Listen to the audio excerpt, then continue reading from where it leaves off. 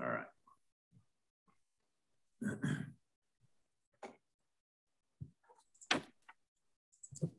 Welcome everyone to our first virtual panel discussion. I am Mary Alice Garza, co-chair of the City of Plano Multicultural Outreach Roundtable. The other co-chairs are Graciela Katz and Shaheen Salam. In partnership with the Plano International Festival, we have sponsored an annual business reception and panel discussion each year. This year, we had to pivot and present a virtual event. I want to thank all of those who have supported us in this effort. The City of Plano staff has given us many hours of help. The Junior League of Collin County for supporting attendees in the chat room, the panelists, and the moderator who will be helping us a little later on. MCORE is an advisory committee to the City of Plano. We plan activities to help people get to know one another and highlight topics of interest. Our newest subcommittee is on law enforcement to foster more dialogue between all parties. Participation in MCORE or any subcommittee is open to everyone. MCORE generally meets the second Tuesday of the month at City Hall. And now here is our agenda. We will have a welcome from Mayor Muns, followed by a presentation by Linda Adler to the Plano International Festival. And then Kyle Ray will introduce himself and the panel. Welcome this evening. We hope to see you in person next year. Thank you, Mary Alice. Good evening. It is my pleasure to welcome you to this annual business leadership webinar on behalf of the City of Plano. Tonight's panel discussion on celebrating agility and ingenuity in the community includes a robust slate of panelists who as leaders in our community have great perspectives to share with you. I wanna thank Mark Israelson with the City of Plano, Sara Bonser with PISD, Brad Stewart with North Texas Food Bank, and Josh Floren with the Texas Health Presbyterian Hospital for taking time to participate on the panel tonight. You know, for, for nearly 20 years, MCORE has partnered with the City Council to encourage cultural conversations in Plano. The Plano International Festival was born out of MCORE. And these conversations are important, and members of these groups help add to the rich fabric of our community by providing varied opportunities for us to learn about each other and hopefully to come to a better appreciation of our cultural diversity. Our citizens embrace diversity. I think we're all proud to live in a community where diversity and inclusion are a priority. Our city is stronger because of this, and this is one of the many reasons we are known as a city of excellence. Again, thank you for the work you're doing I hope you all enjoy the conversation tonight. And now I'll pass it on to the next speaker. Thank you, Mr. Mayor. Hi, everyone. My name is Linda Adler. I am Vice President of the Plano International Festival, and I'm happy to be here with our President Graciela Katzer and various board members.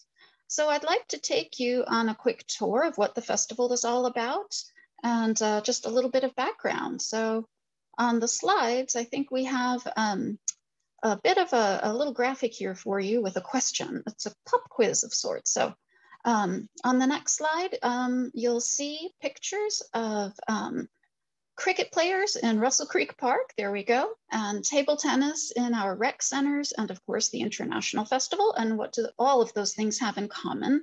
If you were listening carefully, I think you know the answer. They were all started by MCORE. So MCORE, as Mary Alice stated, was started many years ago, actually in 2002, so almost 20 years ago, as a way to advise the City Council of the diverse needs of the communities of Plano, because we are such an incredibly diverse community. And so besides the festival, the uh, um, organization of MCORE hosts lots of educational and uh, fellowship activities like community circles, citizenship workshop, and National Day of Prayer. And then, of course, our big event is in October in Haggard Park, the Plano International Festival. So let's go on just a quick, quick tour of what the festival is all about. We feature music and dance performances, cultural displays, and food. Um, among all of those items, we feature over 100 cultures every October, and it's a wonderful thing. Hands-on activities for kids. We even have a fitness and wellness fair for uh, people to receive health services and screenings right on site at the festival. And it's so important for underserved communities who probably don't have easy access to good health services. So that's one way we give back to the community. And a way that we start every festival is with a naturalization ceremony. Over the course of the festival, we're in our 17th year now, we have naturalized over 700 new citizens. And it's always a very moving and wonderful part of the event. So how do we make all of this happen? We actually have a whole list of sponsors and partners to thank. Um, we work with sponsors throughout the community and media partners and community partners to help bring various aspects of the festival to the community. And we're very thankful to have Mayor Muns be our honorary chair this year. So thank you, Mr. Mayor. And please um, Save the date on your calendar for our festival on October 9th. As of now, we are still planning on having the festival, but we are monitoring the pandemic situation carefully and closely, and we will provide updates if anything changes. So next, um, we have a few lead up events to the festival. There's an art exhibit happening at the Courtyard Theater with a um, reception or some kind of ceremony to choose the best artists and the best artwork. We have the festival, our fitness and wellness fair, and our Dancing with the Symphony program. And those three things will all happen on October 9th. So thank you so much for your attention. And please, if you want to get involved, we can always use help with as a volunteer, as a participant, as a sponsor or donor, and just as an attendee to come and have fun. Thank you very much. All right. Well, hello, everyone. My name is Kyle Ray. I have the great privilege of serving as the moderator this evening for what really is at the heart of our reception. And we're going to be talking to several panelists who lead organizations in our community that demonstrated great agility and ingenuity over the last 18 months, particularly with the onslaught of COVID, as well as the unexpected freeze that happened uh, earlier this year. Um, before I introduce them, I do want to take a moment. Uh, we just talked about it as a team that, in light of the events that happened in Afghanistan today, we know that we had soldiers who lost their lives, and we have had uh, both Afghans that lost their lives and were injured, as well as other military personnel who were injured. We thought it would be appropriate on this day to just take a moment of silence before we move on in our agenda. So I'm going to ask you just to take a moment of silence as we reflect on the sacrifice um, that was made today uh, on behalf of so many.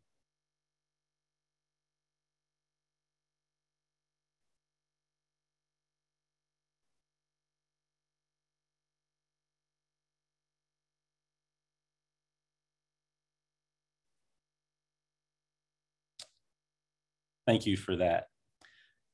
I have the privilege this evening of introducing you to four individuals. Um, you may be aware of these individuals already. I'm learning more about them as I prepare to, to moderate this panel. Uh, you're going to be hearing from Brad Stewart, who serves as the Chief Operating Officer of the North Texas Food Bank. You're going to hear from Josh Floren, who is the President of Texas Health Resources here in Plano. You're going to hear from Sara Bonser, who serves as the Superintendent of the Plano ISD. And then you're going to also hear from Mark Israelson, who serves as the city manager of Plano. Our format this evening is that we asked these presenters to prepare a three to four minute uh, PowerPoint presentation, just highlighting some of the steps that were taken during the pandemic, as well as the freeze uh, from a leadership perspective. But the bulk of our time is going to be spent uh, in some conversation around some questions. We felt like as we were planning this event back in the spring, that if there was one thing we were really proud of in terms of leadership in our community here in Plano during these events over the last 18 months, it was really agility and ingenuity. And we felt like, man, if this were an awards uh, celebration, we would really be highlighting these individuals. We'd be giving them an award to say, well done. You did some things to respond in a rapidly changing environment that we are proud of uh, in this community. Just so you know who I am, uh, I lead Sent Church that is in Plano on Spring Creek near Coit. Um, I got more familiar with MCORE uh, over the last couple years. We hosted a Christmas gathering uh, on our campus uh, for MCORE, but also earlier this year, if you want to talk about leadership agility, I remember I was I was sitting in front of the fireplace at my house when we had lost power, and I got an email from someone in the community that said, "Hey, are you opening your church as a warming center?" And I thought, well, no, probably not. We were being told that we didn't want to be an additional uh, drain on the power grid. I didn't even know if the church had power. And this person wrote me back and said, well, it's a little disconcerting to look over and see the sidewalks of the church lit up while we don't have power in our home.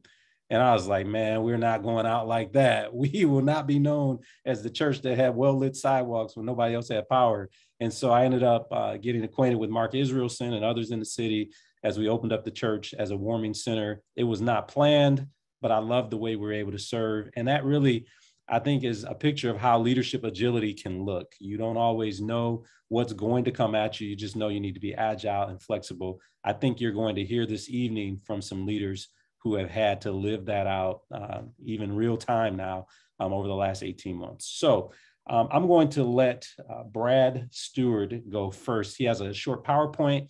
They're going to do their PowerPoints in succession. Uh, Mark does not have one. And then we're going to start some questions. As you've already seen in the chat, if you have Q&A that you want to ask, you can certainly use the Q&A feature. We already know we won't get to every question this evening, but that shouldn't make you hesitant to ask the question and we'll get to as many as we can. So Brad, uh, take it away. All right. Well, thank you very much. It's a privilege to be here and have the opportunity to talk a little bit about this. Uh, personally, I'm a product of Plano ISD in the city of Plano. So it's great to uh, to be here in this capacity. So altogether uh, at the food bank, I'm so proud of what we've been able to accomplish uh, alongside our 200 member um, partner agency network that spans across all of North Texas, 13 counties. Um, you know, we were really able to respond in a meaningful way through the generous support of our community. If you go ahead and just show that next slide, it has some fast facts. Um, and it really does start with that community support. Uh, our community is incredibly generous. Uh, we saw, uh, since the, the pandemic began, we saw $100 million uh, in gifts, much of which came through nearly 100,000 brand new first time donors to the food bank. And just to put that a little bit into context, um, that's about a four times increase in the amount of money um, and much more growth in the number of transactions because a lot of those first time donors were quite small. So it was a great problem to have. But to your point about uh, responding with agility, we had to figure out how to how to manage that that number of transactions.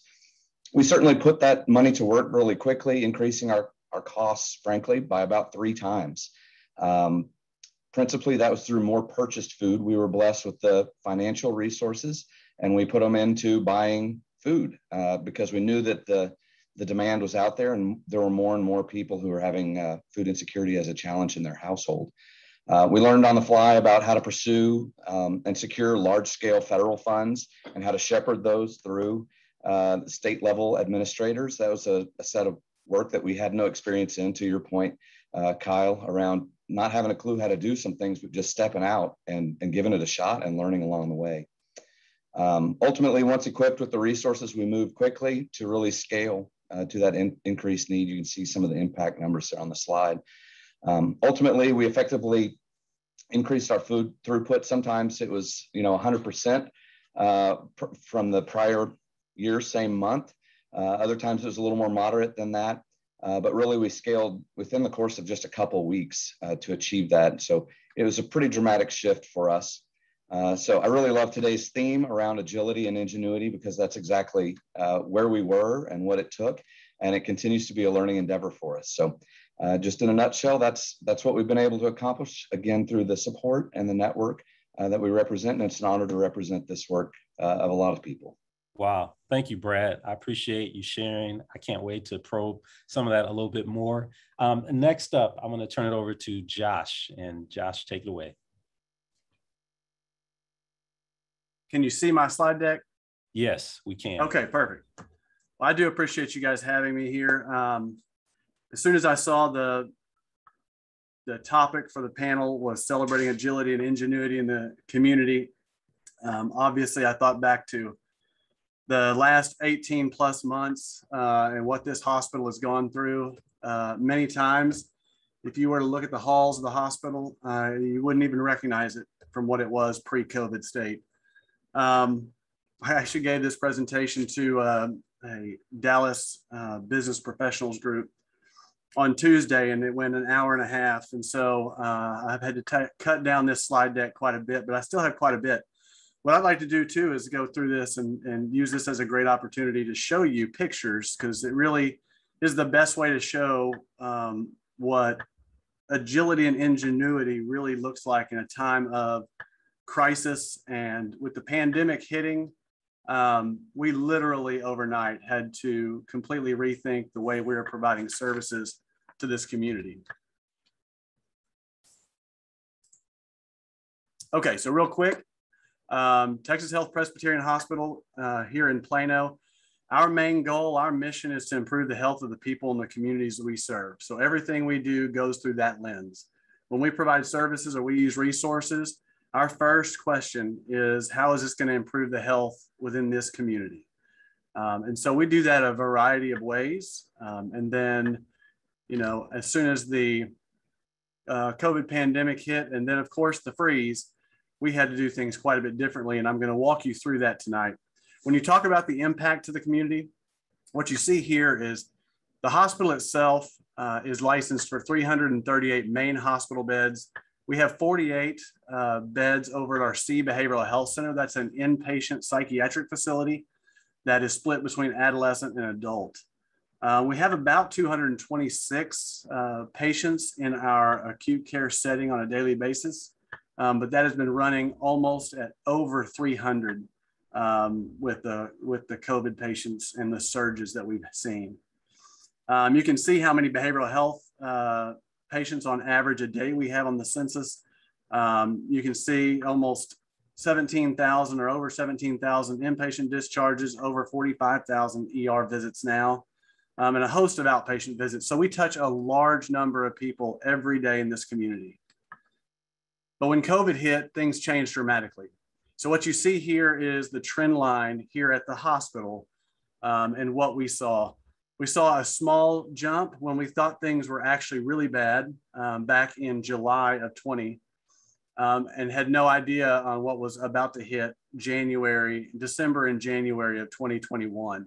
And you can see at the largest spike that we had, we were at 108 patients that were COVID positive in house. So over a third of our patients in house were COVID positive. Um, as you can imagine, that creates a situation where you immediately have to do things differently. And so we opened up a secondary uh, ICU over in our recovery room. Um, we shut down surgeries. We redeployed that staff, the CRNAs, and the anesthesiologists, all over to that area. Um, we had to open a third dedicated COVID unit. And we even opened eight tents in the Tower C lobby. So when we were so inundated with patients that every bed in the hospital was full, um, the ER began to back began to back up with 20, 30, someday 40 patients just sitting down there for two, three days with no beds in the house to give. When that happens, then anybody walking in gets put in the waiting room. So the waiting room became unmanageable with so many patients seeking care. And what we realized was we weren't getting to patients that really needed us quickly enough. And so we went out and we found a local tent company that had uh, medical grade tents and we found the biggest spot we could uh, put tents inside out of the elements. And we opened eight tents along the Tower C lobby, which I'll show you in a minute. We immediately opened those up and began to see 16 to 25 patients a day over in that area. Um, and of course, you could imagine just opening those areas required a tremendous feat from our IT people having to run. We're all electronic on our medical records. So we had to get our rolling carts and the IT components uh, put in place. We had to get all the medications. Um, so really overnight, when I think by the time we had our tents up uh, in 48 hours, we saw our first patient. The state sent us over 30 nurses because at the time we had a large number that were going out. We closed our elective surgeries, outpatient procedures, and then we deployed all of those resources to a labor pool, retrained, redeveloped competencies because people were going to be doing jobs that they had never done before. So here's just what it looked like in pictures. So we shut down all of our entrances with the exception of three. Those three entrances then had screeners. Here you can see OR nurses, L&D nurses, and physical therapists all redeployed to be screeners.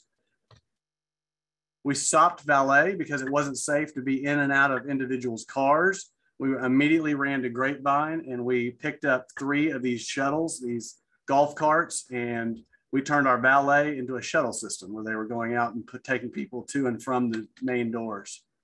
You can see plexiglass here. You see very few patients, only one uh, staff member in the right. Volunteers were, were uh, sent home. Plexiglass was put up everywhere in the facility. Um, and most of that was done uh, relatively quickly. I believe within 72 hours, we had plexiglass up. Um, our cafeteria, you can see all the tables in the back. We shut them down. Uh, we spaced everybody out and we did that throughout the hospital in all waiting areas. Furniture was removed, everything was spaced out. Here's a doctor delivering food trays um, because it wasn't safe to have uh, non um, clinical personnel going into COVID positive rooms. So, this is one of our uh, ICU intensivists. Um, he was delivering tray to all the COVID patients on the ICU that day. Here are the eight tents set up in our Tower C lobby. And you can see here, they were all set up with supplies inside, recliners, because these were low acuity, non-COVID patients. Uh, and we set up a secondary waiting room. And then um, you can see how those were set up. We were overwhelmed with what uh, the community did to, um, uh, to respond and show us how much they cared for all of the hard work that was going on in the hospital.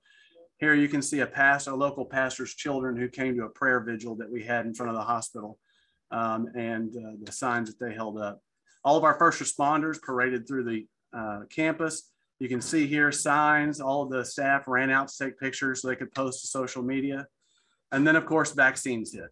And for us, one of the first things we did was have a conversation with Mark Israelson about whether or not we had the ability to utilize space within the Plano community to provide vaccines.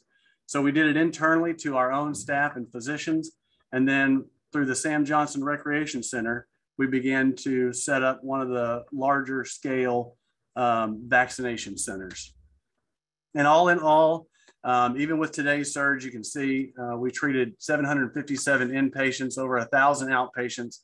It was broken between 43% male, 57% female, 70% um, Caucasian, 15% African American, and 9% Asian. And the very interesting thing when the when the big surge hit in January, in December and January, 50% were greater than 60 years of age. Um, with this most recent Delta surge, now 70% um, are under the age of 60. So this is exactly what you're seeing in the community. So immediately we had to pivot to how are we going to treat pediatrics? If the children's hospitals are all full, we don't do pediatrics on the inpatient side but we have now set up the ability to be able to take care of pediatrics on the fly if we have to because of the needs in this community and the fact that the children's hospitals are all completely full. Wow. So with that, it's just a little overview of what we've had to do over the course, uh, you know, of the, the last 18 months. The Delta surge is still continuing on, anticipated over the next three to four weeks will continue to go up. Um, but this hospital will stand ready to meet the needs in any way it can. So with that, I'll turn it back over to you. Thank you so much, Josh. And uh, much like Brad's presentation, I can't wait to probe a little bit more. I really appreciate uh, the concise nature of your presentation and pictures always help as well. I want to next ask Sara Bonser, who serves as the superintendent of Plano ISD, to share. I know you have a PowerPoint prepared, um, and then uh, we will turn it over to Mark after you. So go ahead, Sara. Thank you. Thanks, Kyle. So, uh, good evening, everyone. It's a pleasure to be here this evening. Uh, it's it's almost hard to remember when this all started. You know, we had the end of a school year and everybody flipped to remote, and then really all of last year is probably more what I'll talk about once my PowerPoint comes up. Um, so I guess the, the first thing I would like to say is just kind of connecting back to the vision of Plano ISD. The, the commitment to excellence was really kind of a driving force of we know the quality of the educational system that Plano ISD is and our commitment to maintaining a level of excellence um, drove a lot of the work and the, the need to innovate and, and switch how we were doing things or be agile in order to try to maintain excellence. Um, then to be dedicated to caring and and we found so many needs uh, as we've gone through the pandemic of and the winter storm uh, that that the ability to show how much we care as a school district about the community that we all live in um, was was really inspirational and powerful and then powered by learning you know never forgetting that um, we're a community of learners and learning together and our focus is about the, the our kids learning. Um, and and i would say the grown-ups learned as much or more as the kids last year.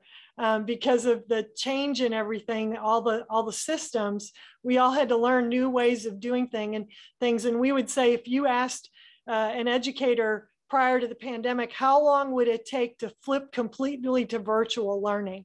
They would have told you five to 10 years, and we did it in probably two weeks.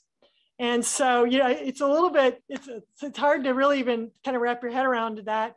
And then Plano ISD proud, you know, like we're very proud to, to be a part of this community and to serve, but we're not about being prideful. It's about that would our actions, would the things that we're doing make our students proud, make our families proud, and make our community proud, uh, and and our moms and dads, right? And so um, I just want to say that you know when we started to think about the agility in the pandemic, we have every system. We run food service for fifty thousand people. We run transportation for fifty thousand students. We um, we run um, health and safety uh, systems. We run, of course, the educational system. We have facilities, we have landscape. And I say facilities, we have over 90 buildings that we maintain every day. So every single system of the school district had to change. And so um, really we, we, we wrapped our arms around the fact that we had to have return to school protocols, but then we also had to have administrative response protocols because when you get out to the campus level, they have to administer all the things. And so how would they do that? So we had multiple systems developed. One would be what the public needs to see. One is what the, the employees need to see, and then all the communication that goes around that. So that's system thinking. Um, but just to give you a landscape of who, who we're dealing with, we have uh, 50,000 students, roughly 7,000 employees, 73 schools, 90 rooftops, 125 countries represented in our district and over 90 languages spoken.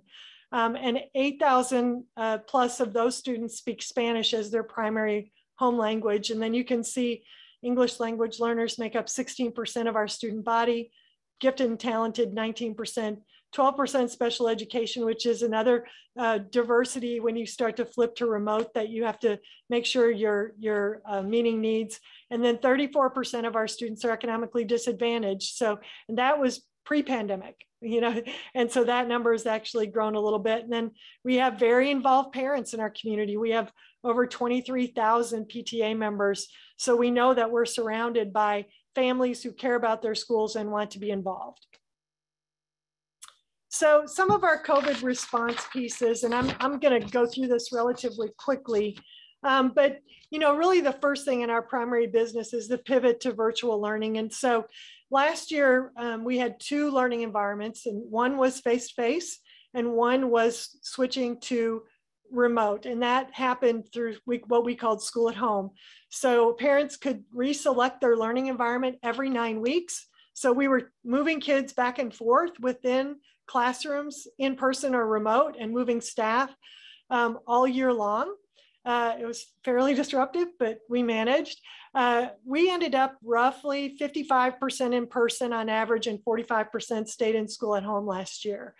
And so our goal was that I always say it was like, um, you know, they say it's like building an airplane while you're trying to land it. And my analogy is no, we were building two airplanes. They had to fly at the same uh, all at the same time. You were building one, changing the other one. You were both trying to get to the same place and land safely, everyone. And so that's really what we were trying to do last year. And so that was our primary business was delivering an excellent education through two models of instruction. Um, then you get to uh, meals served.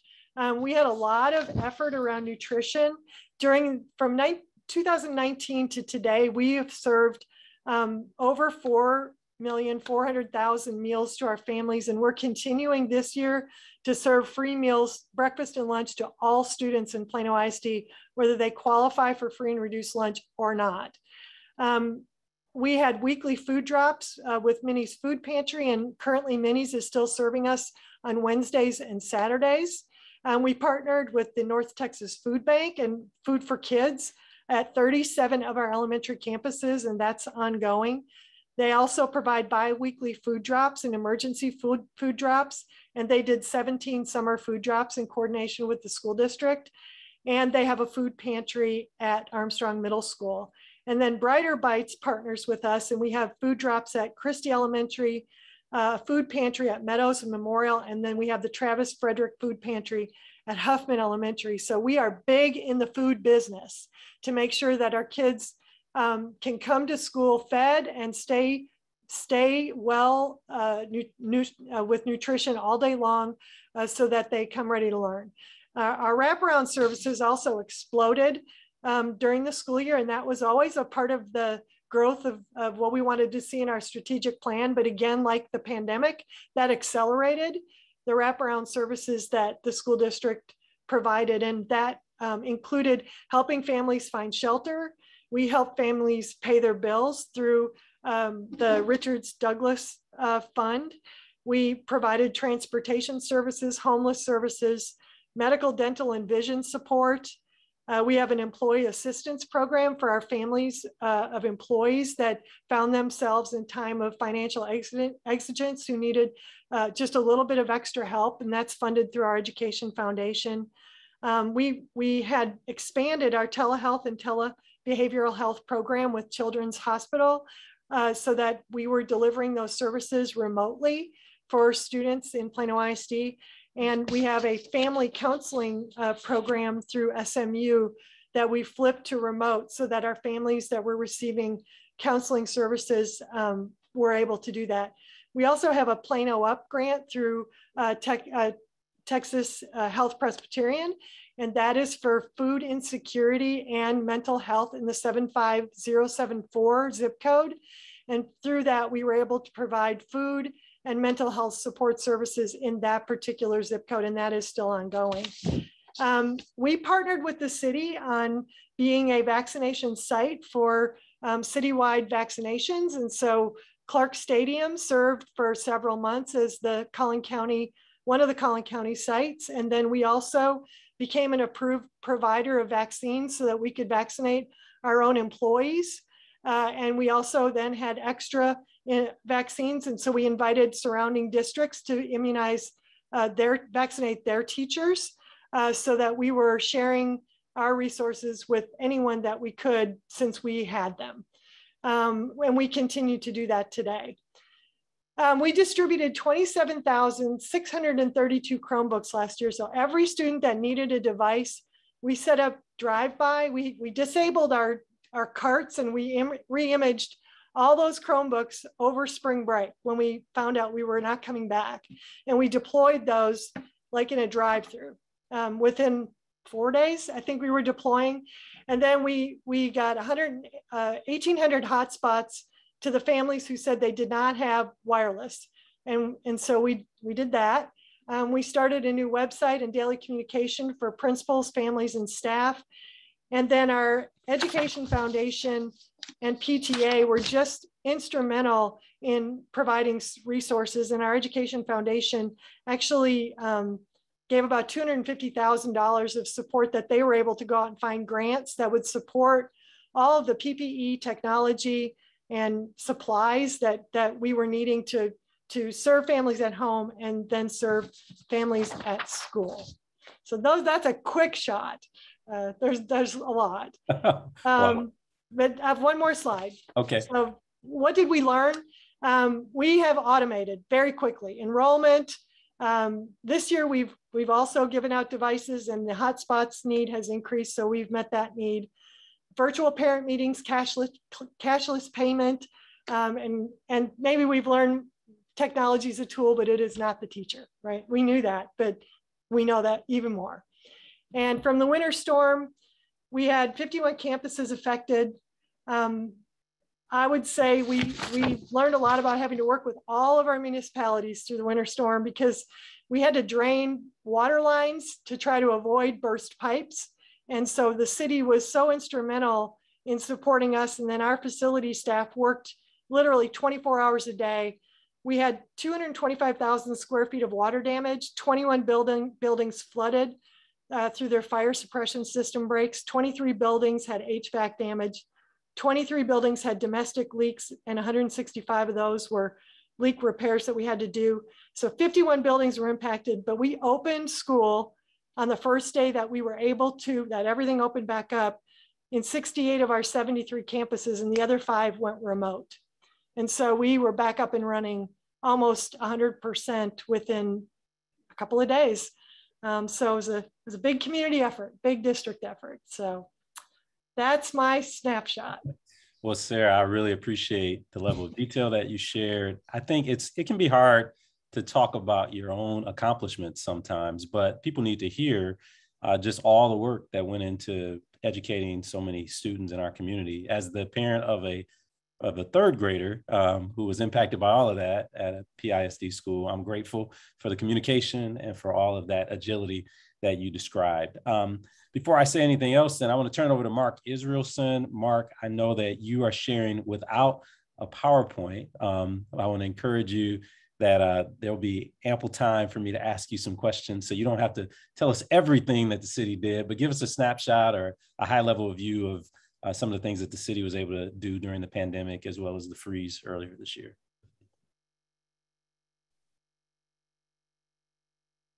Oh, wait, Mark, you are unmuted but for some reason we are not hearing you yet. And I know we, I think we heard you earlier. Are you still seated next to the mirror? Oh wait, was that you? No, that was me. I was, um, yeah, we can't, can't hear Mark. Right. Yeah, we still can't hear you, Mark.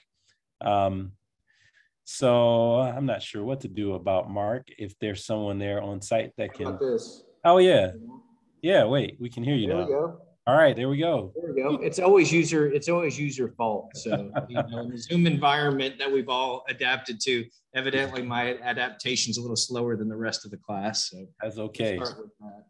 Um, but first, good to see you, Kyle. And uh, I, I want to start by saying that uh, I'm extremely fortunate to have community partners like the North Texas Food Bank, PISD, um, Texas Health Resources, and, and Sent Church. The, city, we have gone through um, 18 months that can only be described as challenging. And at each and every turn, um, the city has had to respond.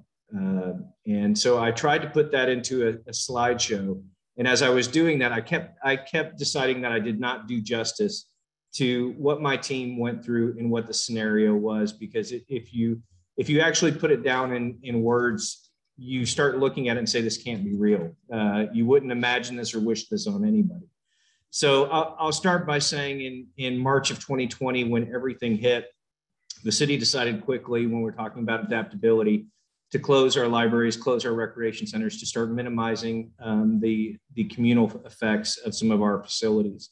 And we immediately began pivoting some of, some of our employees. But city services, especially public safety, trash, water, sewer, um, our financial services, our IT department, all those support services never stopped. Throughout the pandemic, throughout the winter storm, one of the things you're going to hear from the city is each and every day we show up, and try to make sure we stay the city of excellence each and every day. And we work closely with our partners to make sure our citizens are taken care of each and every day. So we pivoted to the, the Zoom environment, much like we're sharing right now with, uh, with everybody online, and started moving some of our boards and commission meetings, some of our council meetings, and everything else to a, a virtual environment, distancing and learning. And what we realized was that in, in a pandemic, you're dealing with different forms of scarcity the entire time. So we started off working through things like PPE and working with Sara and working with Josh and working with others to talk about who has supplies, who can spare what, and how we can work together to make sure that Plano's taken care of. And one of the first calls Sara and I had was about what she could spare uh, with her supplies. And to have a partner like that, uh, that cares uh, about our staff and our community, uh, it goes a long way to why Plano is, is regarded as, as a well-run city and a, and a strong community. And so we began working through how we were going to learn about uh, this, this situation we're in. And it was emergency orders, everything from the, the governor's order to the county order. And we actually have two counties. So we have Denton County, we have Collin County, and then the city's order on top of that, and how that we were communicating with our, our citizens. Because at the end of the day, the citizens and the businesses have to understand how to operate and what the rules are what will keep them safe and that was always our priority throughout this was keeping our staff and our community safe so we learned early on that communications was going to be a great key and our communication staff has done an amazing job of putting together websites call trees even call centers uh, that we took from staff that were in our libraries and since our libraries weren't open we put them together in a call center so that we could answer questions and actually call out to make sure we're providing timely information to our citizens and businesses throughout the, um, the pandemic. So we began working through that uh, and realized uh, as we were uh, learning about COVID that adaptability was going to be the key. And one of the one of the areas that we're really proud of was our park monitor program. Uh, Josh is in healthcare, and I, I, can tell you that getting outside and having fresh air, getting to exercise, and getting to have a mental health break from the unknown was a key aspect to uh, Plano. And we have one of the, we have actually the highest rated park system in the entire state of Texas. Um, and we're really proud of that. But making sure that citizens could get out during an unknown situation and experience our parks and trail system, to have our staff out there saying, hey, this is how we need to distance, this is how we need to, to operate in order to keep everybody safe, was one of the things we were really proud of because it gave everybody that respite from having to stay indoors and have that unknown so we worked through COVID, and the more we worked uh, together with with some of our community partners, the more we learned about social distancing, um, and we eventually got to the point of being able to start reopening some of our businesses. Uh, but the economic impact that we went through and how we were supporting um, people that were out of work, how businesses that were closed. We work closely with the county. We work, worked closely with Frisco and McKinney and Allen um, to provide some of those federal funds back in the way of grants to, um, to our small businesses and to some of our homeowners to make sure they were taken care of. Uh, again, great community partners, and, and we're very fortunate to have it. And then as things start uh, start looking up a little bit, as vaccine is developed, and as we start talking about how that's going to roll out, uh, we just get started on some great programs working with Sara at the, the drive-through vaccination site at Clark Stadium and Josh at our senior recreation center. Um, we had Winter Storm Uri, and the only thing I can describe that as is a confluence of, of five incidents that each unto themselves would be a, a disaster that is historic. So we started off with a weather uh, emergency that turned into a power emergency that turned into a water emergency that turned into a property emergency that turned into a financial emergency in five days. And each day as we as we pivoted to go do that our focus had to be on the safety of our employees and on our community and responding to each and every challenge. And as i said our employees showed up each and every day. We set records that week uh, for fire calls and police calls. Over 5000 calls were responded to for emergencies. And that's that's for our citizens. And so those are employees that uh, also have families at home that may be without power. And so I have the utmost respect for all of our staff that showed up each and every day to make sure that our community was taken care of and that our, our citizens were uh, safe in that.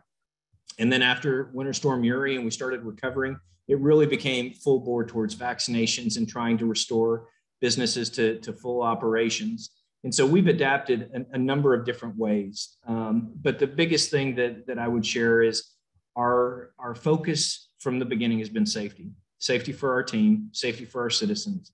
And we could not have done it without our partners. Um, we appreciate them. We all have the same goal keep Plano fantastic, keep Plano the city of excellence. And we appreciate them. So, with that, I, I tried to find a way to put that on three or four slides to cover three or four minutes uh, and I failed miserably. So I, I decided that uh, covering it verbally would probably be better. Um, but Kyle, we appreciate what you brought to the table in, in the warming shelter that you had, uh, Grace Church, the um, Collin County Chinese Fellowship. Uh, the we had several folks that, that opened up warming stations, and and that just shows the value of our community and how much they care for one another. So with that, uh, I'll just say thank you to each of you of one of, of our partners and I'll be happy to answer any questions. Thank you, Mark. And I think you did a great job um, sharing that in a concise way. So I would say, Mark, Brad, Sara, and Josh, you can feel free to unmute yourselves. We're going to have a bit of a conversation. The first question that I have for you is really more of a personal leadership question. And here's the context for it. You know, before I was a pastor, I've been a pastor for 15 years now, and only two years here in Plano. I moved from Michigan in 2019. But before I was a pastor. I was actually a mechanical engineer in the automotive industry, did product development work and, you know, did a lot of problem solving. And one thing I learned as I moved from engineering into pastoral ministry is that there are some leadership lessons that are just transferable. It doesn't matter if you're leading a nonprofit, if you're leading in a business setting, if you're leading in the life of a, a faith um, community, there's some lessons that are transferable it's fair to say that what we have gone through in the last 18 months, there's no class in your college journey that could have prepared you for leading in the midst of a pandemic or a historic freeze. So the first question is really uh, for, for each of you to answer. What would you say is the greatest personal leadership lesson that you've learned leading in this environment over the last 18 months? You know, I, I took a quote that John Maxwell has shared. It says, We cannot become what we need by remaining what we are. Change is inevitable, growth is optional. So, this first question is really getting at help the audience kind of understand what agility and ingenuity in this changing environment has taught you personally as a leader in your leadership journey. Whoever wants to go first can. Sure, I'll, I'll be more than happy to jump off and, and then turn it over to Sara and Brad. Um, you can imagine at the hospital, whenever the pandemic started, um, the sheer fear um, from staff realizing that other industries and other folks, they could easily pivot to work from home. They were going to be called to come in every day and take care of these patients.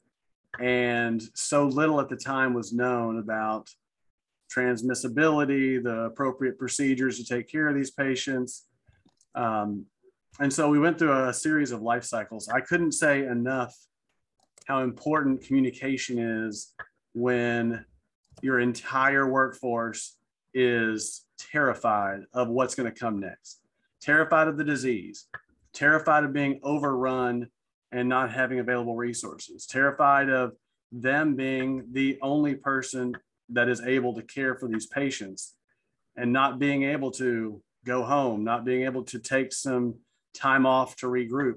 They saw early on that this was going to rest solely on the on their shoulders, um, and they were going to have to weather that storm. And they were terrified in the beginning. Um, as that went through, and they began to realize that the procedures kept them safe. People were not getting sick, um, and the state was stepping up with additional staffing resources to help them. Even though it was hard work, um, they began to get comfortable and then they began to get very proud of what they were doing. Um, then they saw folks coming to the campus, prayer vigils on campus, first responders driving through. And then they realized how important and how supported they were throughout the community.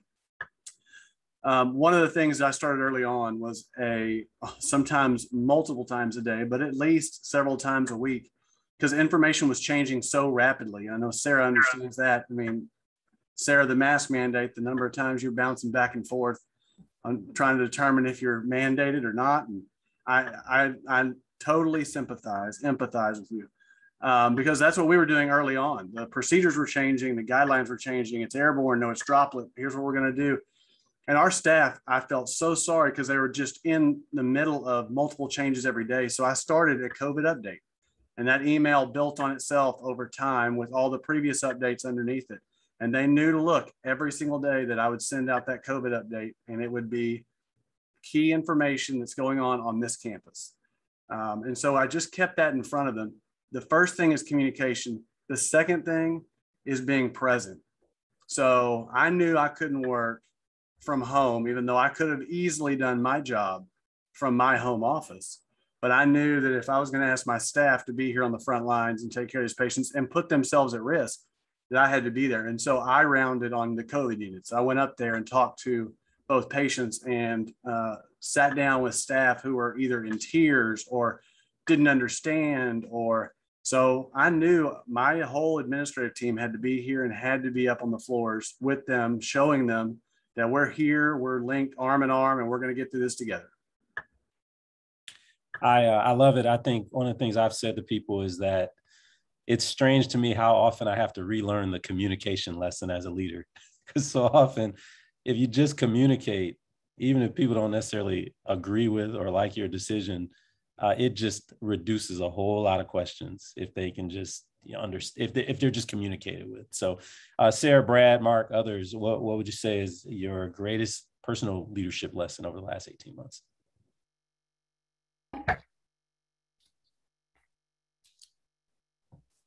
So I'll follow along on what Josh, Josh's message was. Communication is, is critical, but I think having simplicity and clarity of message is really important. Um, setting that setting that expectation um, for your staff is is really really important. And you know, there's there's a time when you're in um, a crisis like winter storms or during the pandemic where you have to be honest with your staff about what you know and what you don't know and what's the best information available. And uh, in our roles, we're there to make decisions. And I think having that humility of saying there's times that we don't know all the information that we wish we knew, but we have to make decisions to keep things moving forward. And then as you make those decisions, um, you let go and trust your staff. And I think setting that expectation and that that vision, I heard Josh mention it about people in service and being there on the front lines. I 100% agree. If you're not standing there shoulder to shoulder with them um, when times are, are tough, uh, they they know that your level of commitment is a little bit different than what you're asking them to do. And I think it's really important that you are there shoulder to shoulder. But as you set that expectation and as you communicate, it's okay to be human it's okay to be honest and say, this is the best information we have. We're going to make a decision. And if better information comes out, we're going to pivot and we're going to move in that direction. And that's what we've done um, time in, time out throughout uh, this pandemic, throughout the winter storm. I've seen all of our partners do the same thing. And it's, it's okay to, to be human that way. Um, but I think that simplicity and that clarity in messaging and in communications is just so important for staff to be able to feel like they understand what the direction is and what their job is. Yeah. Uh, yeah, I, will tie. I'll tie in. I mean, I we learn really fast, and it, you know it's real humbling, right? When you you try hard, and all of a sudden it's like you're overwhelming us, and we think we're doing a good job because we're pushing out information, but it's overwhelming. The parents were saying, "I'm getting emails from, you know, all these different people," and the teachers were getting emails, and so we my team, we usually meet like the executive team once a week. We met twice a day, every day. We started the day for two hours together. We ended the day for two hours together. And the end of the day was one document every day with every communication from every department in one place. And then it was, there was the principal version, the staff version, and the parent version. We're still doing that today. Wow. And that that happens every day. Now we don't the amount of time every day is less. So that's the first thing is streamlining communication, just like everyone has said. The second second thing for me is is the team. You know, the, I have a there's an African proverb I have always in my office. It says, if you want to go fast, go alone. If you want to go far, go together. COVID is a marathon, and we have to go far. So we have to go together. Mm-hmm. And so I would say the my team, you know, the team at the district, the teacher team, the principal team, but then the community team, everyone coming together. I have made a lot of new friends. People who have no idea who I am, who, when you pick up the phone and call and say, I need some help, and they're like, What can I do? Mm-hmm. Like the power of that is number one, to share the burden sometimes is just so it feels pretty good to have somebody stand shoulder to shoulder with you. And there were so many great partners uh, ready to help. And then flexibility. I think you have to, like, we went back in the probably the end of the first semester and we did listening rounds with elementary teachers, middle school teachers, and high school teachers. And we said, what can we do to make your life better? Because they're the ones running two learning environments, right? So the support they have is what will make the biggest difference in the classroom. And so we did listening rounds with those groups of teachers. And then, and then the team went back and said, what, what, have, what are they telling us that we can go back and do something different to help them. And I'll tell you, one of the things was um, they they needed an, another monitor because they were trying to run like a little Chromebook screen and a big screen on their desktop. And we had our bond technology dollars, we had that in the plan, but just for a later deployment. So we just flipped our plan around for how to use our resources. And by February, every teacher in the district, every employee had two monitors to run. And it sounds like, you know, it's, it was no big deal for to get that to happen. It was just the importance of listening and then doing what you could to help people find a way through this a little bit easier. Wow. Because it's been hard. Wow. So that's great. Brad, how about how about you? Yeah, I want to add just a little bit. I really resonate with what was already said, but I think uh, for me, it was really a, a learning around faith, uh, whether that's faith in your uh, chosen religion or faith in your community and just the goodness of people. Um, you know, things are highly ambiguous and no, having enough confidence in who you are and what your mission is, and it's important to just step out and into that ambiguity, knowing that you're not going to get it completely right, but and that you won't have everything you need. Ask for it, and the community will come through. It's amazing how that happens. Uh, somebody made the comment earlier that we never would have imagined, I think, Sara, it was you, never would have imagined the amount of progress we would have seen in moving to virtual classrooms. Same holds true for like for us, for our fundraising. Um, we lived in a world where there was a real scarcity mentality in the nonprofit world around there's a fixed amount of resources out there to be garnered. Well, COVID blew the roof off of that um, simply by asking. So I think it, it's faith to, in knowing who you are, what your mission is, and stepping into the ambiguity of that, which is really where leadership, I think, happens. And, and knowing that even if you don't get it right, you're going to get a, a, an equal share of grace to take the next step in a learning direction uh, that you wouldn't have had that learning if you had not taken the first step to begin with. So move quickly, move with confidence, and, and adjust as you go. Thank you for sharing that. Yeah, I think you you find yourself in some of these situations where you say, "Man, I never have a reason to doubt the community ever again." That's it. They came through this time. I, am going to actually take a question that has come in uh, via the chat, and I would say to, to set the stage for this question, I have no idea what the diversity of your teams look like. And this question is relevant because this is an MCORE, um, the Multicultural Outreach Roundtable presentation. So the question is uh, from Nigel Eastman, do you think, eh, so he, he first sets up, he, he happens to work at Sent Church. So um, he says Sent Church is intentionally multi-ethnic. There's some things we do intentionally to try and reach the variety of people in our surrounding community. His question is, do you think intentional multi-ethnic leadership plays a greater role in serving the resource limited individuals of Collin County? And what roles would you like to see multi-ethnic church communities serve in? So that may be a question that you know everyone wants to speak into, or just a couple of you, but it's really getting around what's been the benefit uh, as you've tried to meet these variety of needs of having diverse leadership, if you have that, and uh, if not, uh, what role do you want the multi-ethnic church-based community to play in helping your organization fulfill its vision? So I guess I can start on on that side of things. And you know, as an organization, um, we work towards reflecting uh, our community, and, and that's in our leadership, that's in our staff members. It's it's working towards that reflection because it's it's important when you're serving um, a community to to make sure that you understand those values, you understand um, the needs, you understand the connections, and that's really important uh, as as a city government. For uh, for a faith-based community um, organization, for us in, in having it be multi-ethnic, we think that's fantastic because for us it's a very welcoming environment, and that's what we view the city as. That's what we view our community as, as a welcoming um, a welcoming community. And so we want to be able to find a place for each and every uh, citizen to be involved, to feel like this is their home, to feel like this is their, their town and have that sense of ownership. And for us, you know, being involved, whether it's neighborhood cleanups, whether it is assisting with food insecurity, whether it is uh, assisting with some of our, our, senior community that may need uh, some time and relationships, uh, having a, a, a, denomination that, that's multi-ethnic means that you're able to, to cross a, a, number of areas that you might be able to find a connection with one of our citizens and make an impact. And uh, for us, it's connections one citizen at a time. And so having a, a, broader group to, to work from that somebody can identify with, that they can relate to, and they can connect with, to us, that has a lot of value uh, in our community. And we hope you all will stay involved and help uh, assisting our, our citizens, much like you did during the winter storm. Awesome. Others, anybody else want to weigh in on that question? How important? I'll, I'll jump in. All right, go ahead, Josh.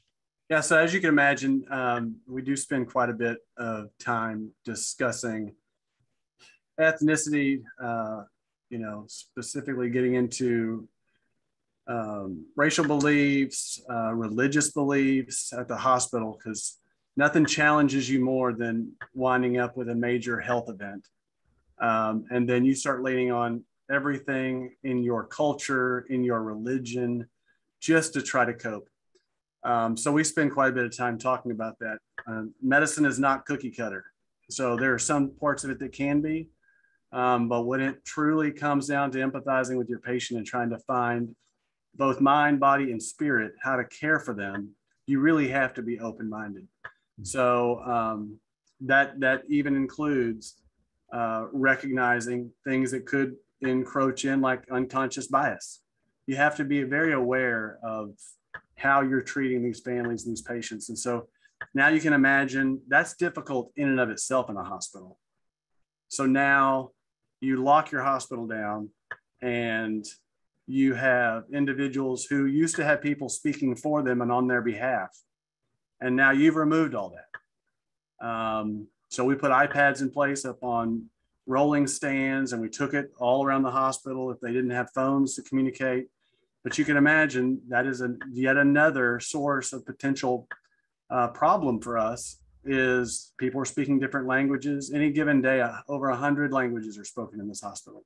Mm. So uh, we have language lines and we have video interpreters, um, but still nothing is really as good as their support system. Um, and so then you introduce COVID, vaccines, things that are highly polarizing to this whole dynamic. And so what we learned real quick is we were going to have to really brush up and uh, be aware of what um, these individuals needed to help with their support system. Mm. Um, we spent a lot of time with our chaplains, spending time talking and researching, and we did a lot of research um, because COVID introduced things that we weren't or uh, may not have been uh, familiar with in certain religious uh, and um, other cultures. And so it really has opened up our eyes and led us down a path of becoming even more aware and involved.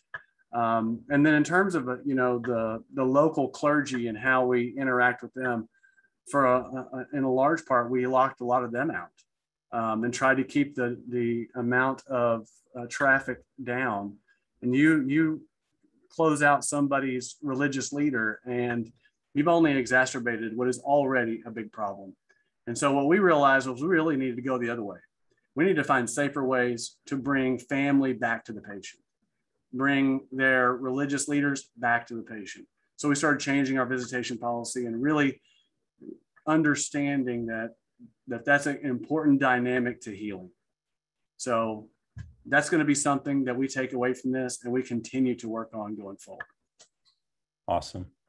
Sara, Brad, any any thoughts you would add to that, or should I move on to the next question? Well, I, you know, I'll, from the standpoint of, of the school district, you know, we have we have so many diverse students and families in our district that we serve, and and really, you know, every every level within the organization, it's very important to have diversity eh, so that students see teachers, principals, you know, all kinds of folks that they that they interact with during the day um, that that they feel comfortable with, that they that that they um, see that the staff is as diverse as the student body. So that's been a goal in Plano ISD for a very long time and continues to be a priority um, within our strategic plan um, because we know how important that is.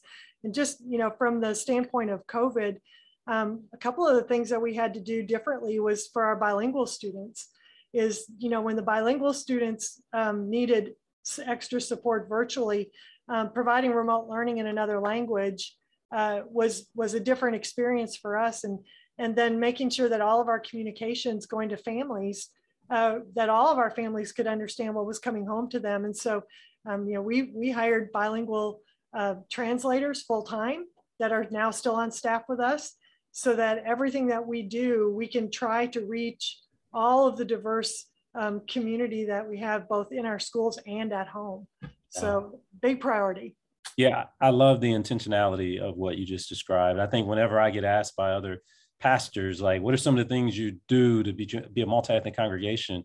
I end up using the word intentional about a thousand times because that really is the key bias to, to have an intentional mindset um, to do things like hiring um, translators, as you just described. Um, Brad, I'm going to move on actually to another question that has come in. Um, this one came in through the Q&A box. So it's uh, from someone anonymous. It just says, what are some ways we as a community can support our neighbors and coworkers that are in need? During the pandemic, there were shortages in basic needs. Is there a list of resources or best ways to get a hold of organizations that are committed to help? So I, I know that that's a general question. I guess maybe to make it specific to your to you all as panelists, as we progressed through the pandemic and even through the freeze, did you find yourself compiling like some general resource lists? Are those still available? Talk us through any of that uh, in a concise way. Sara, I saw you nodding your head. Yeah, we we um, really have upped our family and community services through this, and so we on our website we have actually a if you want to go out to our site, you can say I need help with, and it'll actually point you to the direction of resources. We also opened um, a welcome center over on 18th Street. The Bird Center is now a welcome center and wraparound service center. So there's food pantry, clothes closet, homeless services. It's, we'll have a, a functioning clinic. It has uh, any new family coming will come there, uh, enroll in our district, and then we do a family find. What do you need? and so that we can connect to resources. And so we have a lot of new partners. Uh, we're still looking for partners. And so uh, if you're interested in, in connecting to the student family support, community support for the school district anyway, um, you can reach out to, uh, to myself or Dr. Courtney Gober. Uh, that's in his division and I can put that in the chat. Uh, but if you'll reach out to them, we are always looking for partners who wanna help come alongside. Awesome. Yeah, I'll, I'll, jump in on this one. So uh, I mentioned before the food bank's not the food bank, but for the partner organizations who do that last mile distribution of the food, who really provide that case level um, in, in, uh, engagement with folks to understand what's behind their food insecurity and to connect them to resources. So actually, we we feel that we serve as a meaningful convener of a lot of different services. Um, so we're happy to, to play that role. I think we, if you go onto our website, you can do a search for food pantries and you can see a, a long list of different organizations. Uh, they each have a unique twist on how they go about serving uh, a range of things, food insecurity being one of them. Uh, that's what brings them to that website um, to begin with. So that's one spot. Another that I've picked up on actually in, in uh, the last year is really what shows up on North Texas Giving Day.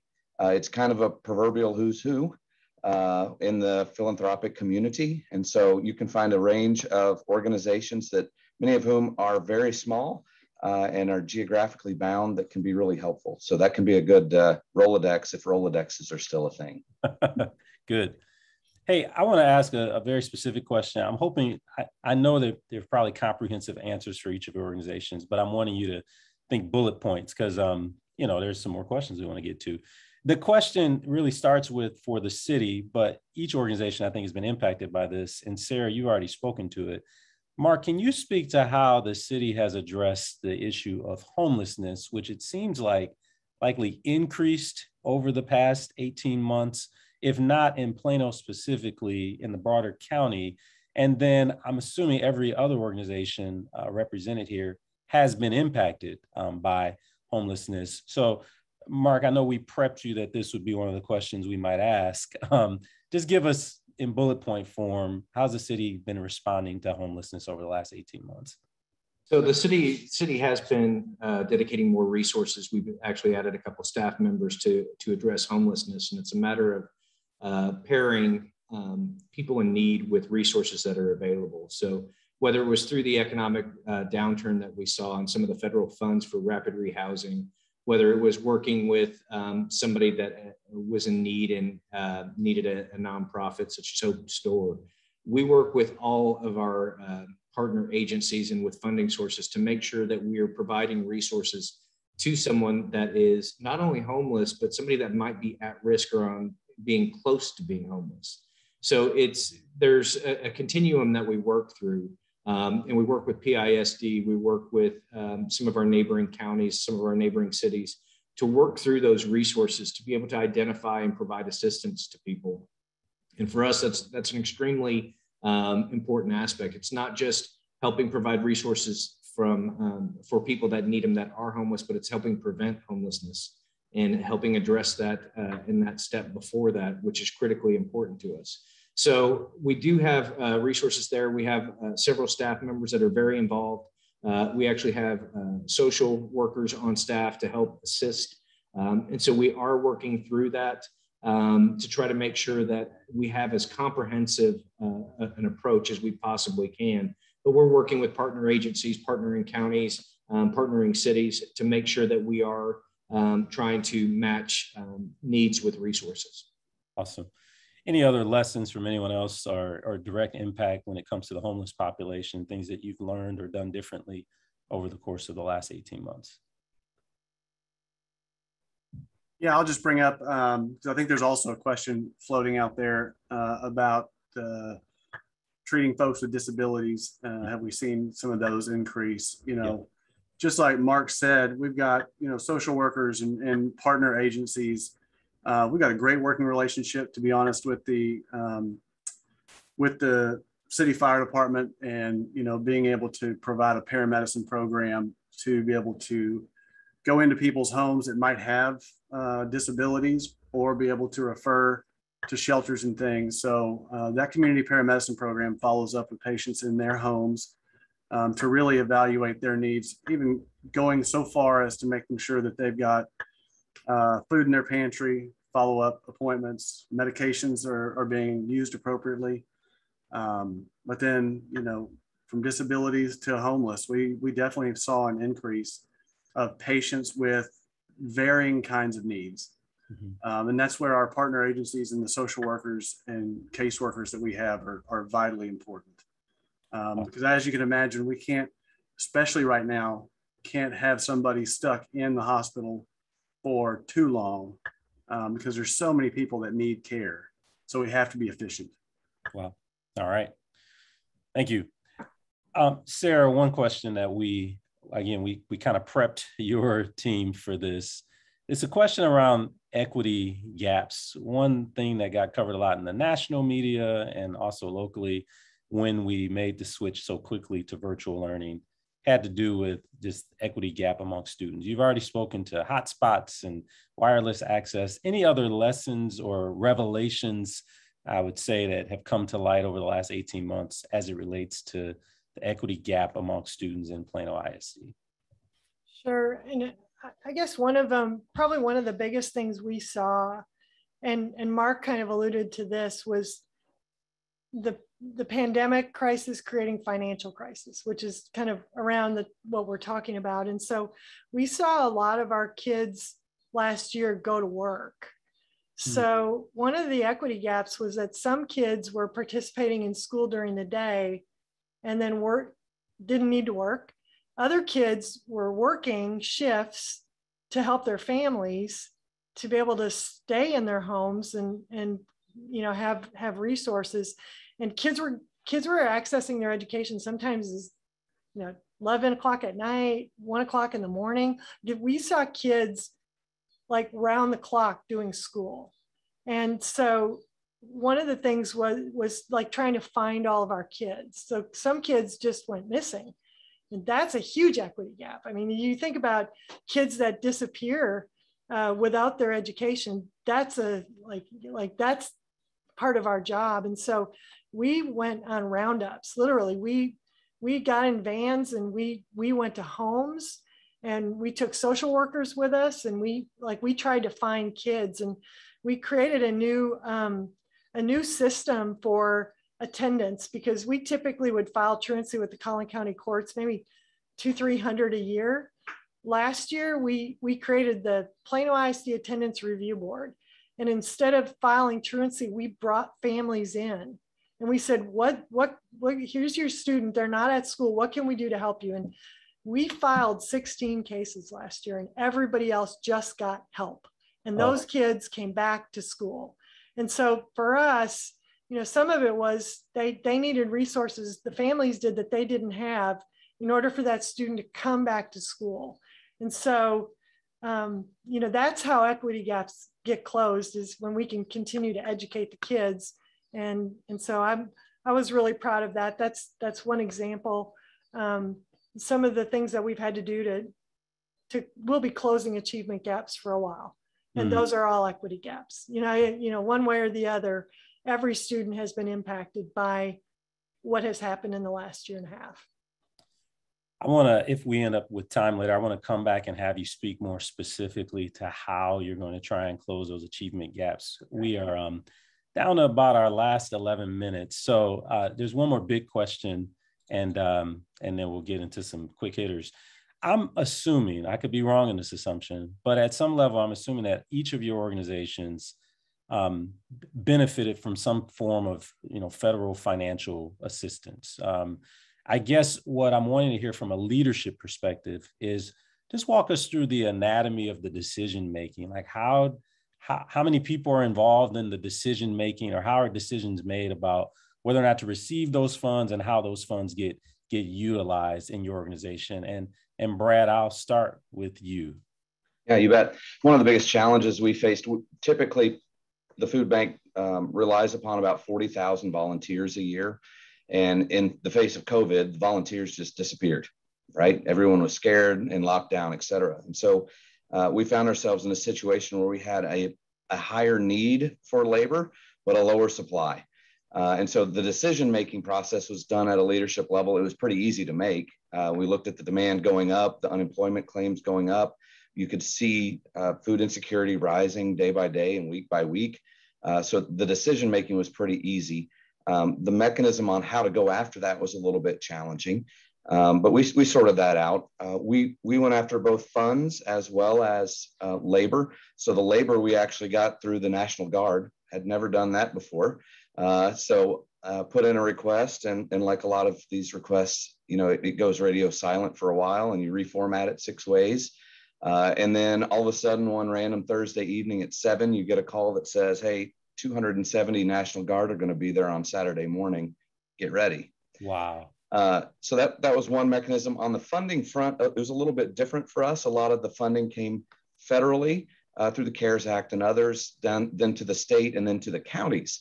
Um, and we actually declined a fair amount of federal funds from the counties uh, because we wanted that push to the partner agencies that were in those counties. We felt that they could do the best work uh, locally. Back to our point uh, earlier about diversity, uh, they know the communities, they know how best to serve those communities. And frankly, we're, we're not set up for um, community specific service uh, our obligation is across uh, a 13 county service area. So uh, we actually declined a fair amount of that federal funding. Wow. Others, uh, talk us through how decisions were made around the funding. Yeah. So for the so, oh, go ahead. No, Josh, you go first. Okay, I was just going to say, you know, most of our funding came through the CARES Act, um, and you know, hospitals were were pretty fortunate with uh, some of the CARE Act funding. Um, early on, of course, THR is a large health system. Um, so most of the evaluation of uh, what to receive, what to hold back, those were made at the corporate level based on the, the, the function of each hospital. Early in the pandemic, um, there was a significant concern about the supply chain. Um, what we saw was once we shut down surgeries, all of a sudden hospitals went dark and I had four units that were completely closed. Um, so uh, one of the things THR agreed to do because we couldn't furlough and let staff go is we made them whole and kept their salary while we waited for what Italy showed to be an enormous surge that was coming. And, and we, we kept up with um, all of the other countries and uh, locations that had already gone through this that we were we were tailing behind um, because they said, here's what's going to happen. You're going to shut it down. Your hospitals are going to go dark. You're going to hemorrhage money. Then, but you can't let those resources go because you're not only going to need those, you're going to need far greater than you have. So use that as time to prepare. And that's what we did. And then um, when the time came and the surge hit, you know, we were prepared for that. Um, then all of a sudden, it looked like our revenue situation was getting much better because we saw far more volume than we had anticipated then the corporate office starts clawing some of that that funding back, saying, okay, now we've got to figure out because we're going to have to account for for every dollar, uh, and we recognize that there's going to be audits, and at the end of the day, we don't want to be giving back a big portion of this that we held uh, when we we potentially did not need that. Um, so we've gone through these various life cycles of you know. Um, uh, major expenses, um, you know, we're paying right now premium dollars for uh, contract nurses and staff and respiratory therapists just to keep afloat. Um, so our expenses have accelerated pretty substantially, but it's this delicate balance because as volume comes in and then volume would go out and then volume would come back with a vengeance. It's that delicate balance of always wanting to be prepared, um, but being fiscally responsible with, with federal dollars that were coming in. So um, at the uh, we were on constant calls and did a ton of projections using a lot of UT Southwestern data, and then many of those that came before us who could tell us what to expect, and we just use those models constantly, and we're using those models every single day still to plan and prepare and project what's going to be needed. Awesome. Sara, Mark, or Mark, I guess you were about to go before Josh. Sure. Well, for us, we we've accepted uh, both the the CARES funds and we've had ARPA funds, and I think it's important for everybody to understand that federal dollars don't come without strings or restrictions. And so, as Josh mentioned, um, there are specific uses that that you have to use these for, and should you not use them for those, you have to repay those dollars. So you have to account for it, you have to track it, you have to be able to prove up uh, exactly what those dollars are used for. So we we spent uh, quite a bit of time um, at the beginning of the pandemic with small business loans and rental rental relief funds, uh, working with Collin County to in some of our neighboring communities. We actually had our own um, small business uh, grants area to, to be able to provide businesses. And so the focus was trying to provide relief for those that were going through economic hardship and trying to make sure that they could get through uh, the pandemic, keep their doors open, keep the rent being paid, um, things like that. And so our focus on uh, a lot of those funds was for relief and assistance uh, in the community. But there was also the aspect, as Josh mentioned, um, as a governmental entity, we do collect taxes, and so that does happen. Uh, but we saw our revenues uh, decline pretty precipitously uh, through that. And we want to make sure, as we're providing our services, that there is continuity of service. Uh, as a public entity, uh, our citizens count on us from everything from the toilets flushing and roads being open and lights working and public safety being provided. Uh, making sure there's that continuity provides stability um, to the community. And so we focused on those things as well. Um, but where there was uh, the ability to provide some of that relief to our small businesses and to our citizens that had uh, the need for rental assistance, things like that, uh, we did have those programs. They were very successful. Um, and we felt like that provided an opportunity for, for some of those folks to, um, to receive uh, timely assistance. All right. I, am actually, Sara, I'm, I'm gonna, I'm, I'm not gonna let you answer that question only because I want to respect people's time. Um, and we said we're going to end at eight o'clock, but I do want to hear one last thing from each of you. First of all, let me just say I want to I want to affirm. Um, I heard some things tonight. It was it was in that category of like man, I didn't even know about that. That's the thing that we should be celebrating in the media, unless I just missed it on the news. Like um, Josh, when you just said you you made sure that employees that weren't necessarily being utilized in the area of expertise stayed fully employed early on in the pandemic. I think that was that was huge. Um, to hear you, Brad, say that you actually, where you normally relied on volunteers, decided to actually hire some people because you not only could, but you needed to. Um, Sara, some of the things that you talked about in terms of that welcome center for new families that need help, this kind of one-stop shop, um, is pretty amazing. I think you all on this panel, uh, it's fair to say you're leaders in this community that are setting the bar pretty high when it comes to agility and ingenuity. There are people who are watching, some who will watch this after the fact because it's recorded, who are leading in their own right. Maybe not organizations as big as yours, but they're having to make decisions, realizing that they can't please all the people all the time. So, as a parting word before we wrap up, um, close to on time, I guess what would you say to the person watching who's leading something and is having to continue to make tough decisions during these times that are rapidly changing? Give a word of encouragement, mentorship, guidance to a, leader who's watching. Whoever wants to go first. I'll go. I, I would say just know who you are, know what your values are, and follow them vigorously. That's right. it. Uh, and if you do that, and, and you know, you, there's nothing to be afraid of, and you'll be issued grace when you make missteps. Awesome. Yeah, and I would say, you know, when in looking back, um, you know, every company has a mission statement. Um, they have a, a, vision and a direction. They have a set of values. Um, nothing gets tested more greatly than the list of values you hang on the wall when there comes time for there to be a disaster. And they're looking for the wheels to fly off, things to fall apart. Um, what you want to do is exude confidence. You don't want them to feel if they ever see the leader falling apart, they have no hope that we're going to get through this. So they need strength. They need to see that you're resilient. They need to see you present.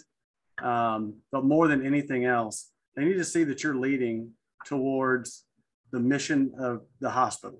Or for us, it's, you know, we're here to take care of people. And if we're not making good decisions that are going to open up more resources and take care of more people more efficiently, and if we're not doing so following our values, um, then it's real quick. They're real quick to begin to not trust. And so you have to be able to do it. Got it. I love it. Know who you are, know your values, exude confidence. Sara, Mark, what would you say? I, I, feel the same way. I, you know, I started my whole conversation with the vision statement, excellence, caring, learning, proud. You know, if, if you can filter your decisions through those values, then you will make better decisions. And, and as a team, you know, it's, you know, that none of this happened alone surrounded by people helping filter, filter decisions through those lenses. Uh, and when you do that, then students really are at the heart of your decisions and we will do right by kids. And for us, that was the, that was the litmus test every time. Awesome. Mark, you get the last leadership lesson before I close it out. Uh, I, I completely agree with stay true to you, your values, your organization's values, stay true to your mission, um, but the one lesson I'd also, the one tip I would give is all of these are community partners. We all know each other. Um, if you go into a crisis and you don't know who your partners are and you haven't invested in those relationships, you're going to be working uh, from behind. So develop those critical relationships, develop those people that you can call um, because you're not at that point when you're leading, you're not in it alone. And you're working with people that will help, help be a force multiplier for your organization. So build relationships because they matter. Awesome. Well, hey, um, I know that we had one question that uh, we didn't get to in the Q and A, and um, you know, I think that uh, it's a it's a forecasting question. It's really just a matter of will the spike that's coming related to COVID be as bad as the one we had in July of 2020? Um, I don't want to speak for you, Josh. Um, I don't know if you have a quick one word answer or, or, or, a sentence answer to that, and then I'll say final words. Yeah, I cut that out of the presentation because I saw I had way too many slides. So um, UT Southwestern's current projection is that this is going to continue to surge upward for another two to three weeks. Um, just to give you an idea, so when the UK dealt with the Delta variant, um, they saw between around, around 50 days before they plateaued and started to come down. Um, we're day roughly 46. Um, and we're tracking a little bit differently than them, about the same vaccination rate. Um, so we're looking at, that's what I was saying earlier, we use all these different models and we're looking at all these different countries and uh, the way other people have um, have handled the situation and what their numbers did. It looks like we probably still have a couple more weeks of it going up. Um, but if it follows suit, the Delta variant plateaus quick and it comes back down quick. Right. So I'm holding out hope. All right. Well, hey, let me say on behalf of MCORE, the Multicultural Outreach Roundtable, we are deeply appreciative to each of you giving us time this evening to share your insight and your wisdom. As I share with you um, in this um, webinar and also beforehand, this is really a spirit of celebration. We want to say, well done. We know that leadership is not easy. Um, we realize that you have a lot of inputs coming at you. And so, on behalf of MCORE, I just want to say thank you. And then there's a slide up for our attendees. We want to say thank you for tuning in. Thank you for your questions. Uh, if you have any interest in what the Multicultural Outreach Roundtable is all about, you can certainly go to the website that's on the screen there, planomcore.org. Uh, there's no fees involved. I'm involved just as a, a local church pastor and a, a, community member that's intrigued by this diversity in this community that we live in, and really feel like when you get a lot of different voices around the table, uh, we can come together and try and problem solve how to best make this community uh, an even greater community of excellence. So I hope that you will take a next step to get involved in MCORE in some way. And with that, I want to say good night. Thank you for joining this webinar. We'll see you later.